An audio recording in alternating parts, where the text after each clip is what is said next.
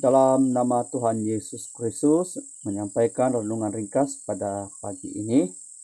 Pertama-tama saya mengucapkan salam damai kasih Tuhan kepada para penatua, para diaken dekinis, para pendeta, saudara dan saudari yang dikasihi di dalam nama Tuhan Yesus.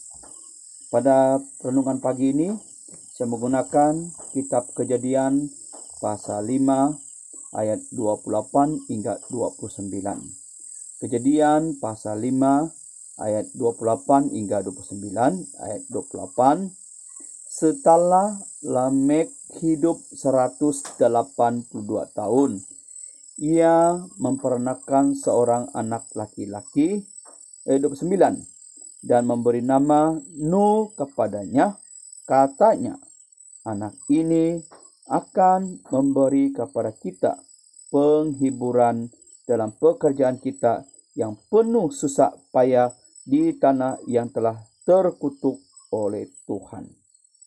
Di dalam ayat ini kalau kita lihat yaitu Lamek di mana ia telah beroleh seorang anak laki-laki dan Lamek menamai anak laki-laki itu bernama Nuh.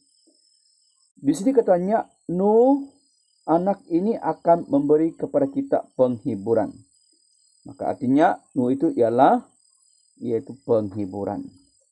Nah, saudara dan saudari uh, yang dikasihi dalam nama Tuhan Yesus, uh, dalam kehidupan kita seharian, uh, kita sememangnya memerlukan penghiburan. Semada segi rohani maupun dalam tubuh jasmani kita. Tujuan penghiburan itu supaya kita beroleh kekuatan semangat untuk meneruskan sisa-sisa hidup kita di dalam dunia ini dan juga supaya kita ada penghiburan setiap pekerjaan-pekerjaan yang kita lakukan di dalam dunia yang telah dikutuk oleh Tuhan ini. Kita lihat di sini, dalam kehidupan kita teramat-amat menderita dalam dunia ataupun dalam tanah yang telah dikutuk oleh Tuhan. Sememangnya kita perlukan kekuatan, penghiburan di dalam kehidupan kita seharian. Kita tidak mau seperti yaitu orang-orang dunia. Mereka ya apabila hidup mereka tertekan, mereka tidak mampu berdiri melawan setiap hal-hal yang yaitu menghalangi mereka. Dan ada juga mereka tidak dapat bertahan lalu mencari jalan pintas ialah bom bunuh diri. Itu disebabkan yaitu mereka mengalami tekanan hidup seperti ekonomi eh, maupun di segi penyakit dan sebagainya. Maka mereka tidak ada kekuatan, mereka tidak ada penghiburan itu.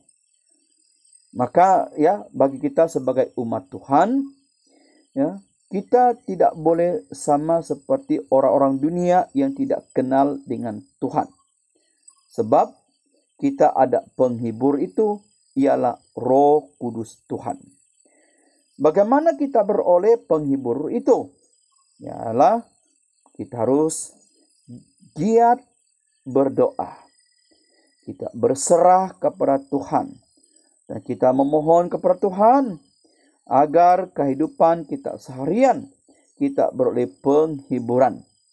Di mana jua kita berada, kita harus yakin percaya.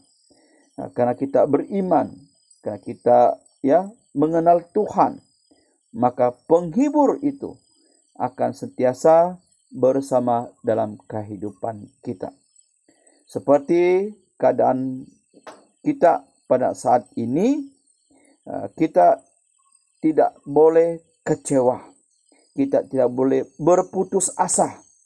tetapi kita harus melawannya uh, dengan yaitu berdoa, memohon yaitu Roh Kudus Tuhan agar kita dapat bertahan di dalam kehidupan kita. Semoga uh, kita kalian mendapat penghiburan dari Tuhan. Amin.